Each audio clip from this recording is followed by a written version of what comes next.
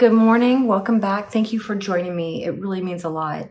And before we get started, I just want to let you know I happen to be recording on Veterans Day, so I decided to wear red, white, and blue. And I just want to take a minute to say the war is real. There are spiritual battles, and there are really evil, bad people out there. So thank you to all the armed services and all our public servants that protect us. Thank you for your service. So if this is your first time to join me, I just want to let you know what I'm doing. I am reading a book called Prayer, Peace, and the Presence of God by David Butts. It's a little 30 day devotional, but I'm just going to do one a week. So I know we're all so super busy and I don't want to overwhelm anybody because this is about trying to find a little peace. So it's a Sabbath day and it's time to relax and just quiet our minds. We're going to talk about day two is going to be Peace I leave with you. That's because that's the words of Jesus. So we're going to talk about that. Peace I leave with you. My peace I give you. I do not give to you as the world gives. Do not let your hearts be troubled and do not be afraid. That was John 14, 27. And now for the rest of Mr. Butts' story. One of the more admirable traits of humans is our desire for peace. It just hasn't turned out well for us. We all know that peace talks and treaties have failed. In an older study, back in 1894, Russian sociologist Jacques Novikov documented that from the year 1500 BC to 1860 AD, that's 3,360 years, more than 8,000 treaties were adopted with intentions to assure permanent peace. The average time they remained in force was only two years. Peace between humans is much sought after, but seems to be elusive. Jesus distinguishes clearly the peace he offers with that which can be found in the world. In a very real sense, he renamed this my peace. The peace of Christ must not be confused with what the world attempts as peace. What the world reaches for, admirably, but in vain, is simply the absence of hostilities. What Jesus offers his followers goes a lot deeper than that. What Jesus offers is his peace it's a gift given by him to those who are following him. It is formed deep within us and transforms us from the inside out.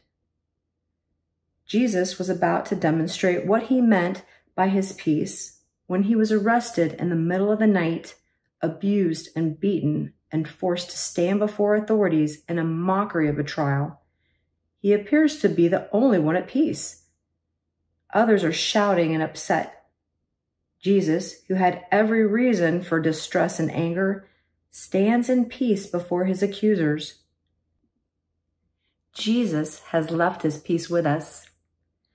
It is clearly a gift, not just for a few select disciples, but for all who follow him. That is so encouraging. It is to be received, embraced, and deepened through regular practice. The peace of Christ clearly does not promise us an absence of hostilities.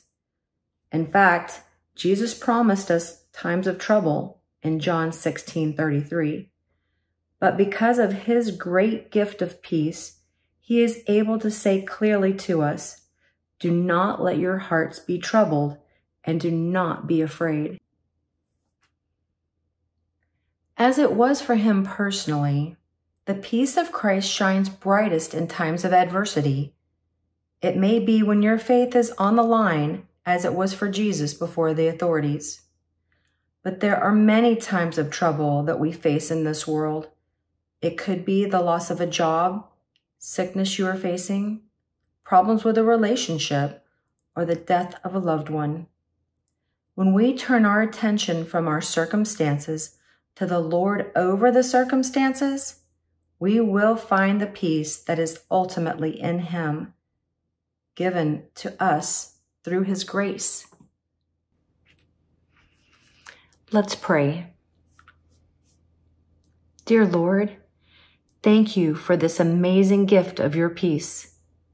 You lived out this peace as you dwelt among us and left it here for us.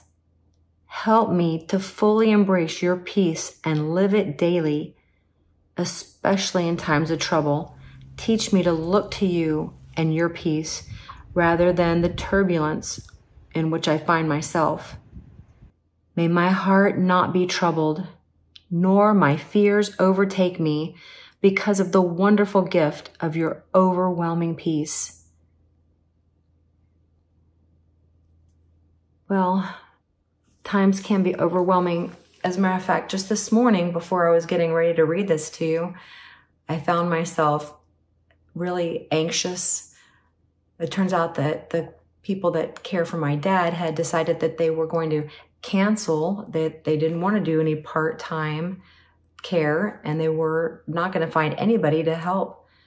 So I was just really anxious. What was I going to do? I mean, my dad needs somebody during the day when I'm at work and so I found myself getting angry and upset and frantically figuring out, like, what am I going to do? Who's going to watch them?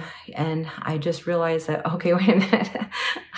I'm about to read my devotional about peace. And I need to remember from last week that first, put my petition to the Lord.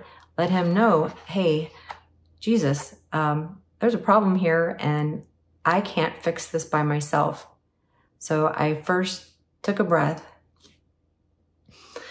Okay, Lord, you know I need help. You know my dad needs help. Send somebody to help. And then I just knew that he was going to take care of it. The point is, you know, every day we're going to have something that's going to cause stress. We just have to remember to look to the Lord. Thanks for joining me, and I hope to see you next week. Shalom.